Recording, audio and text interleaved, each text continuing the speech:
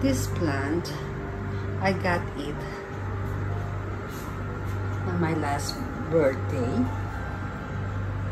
April.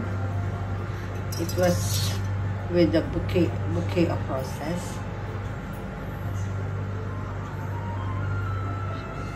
Siyempre, the roses died but these green plants stay stays alive. They are still fighting. Look they already have the roots.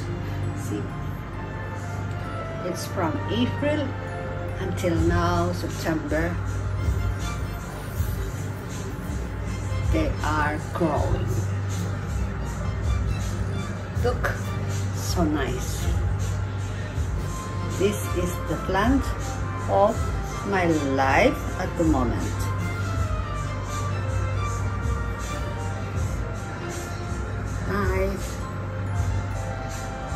courtesy of my company, Habshan Trading Company, and my colleague.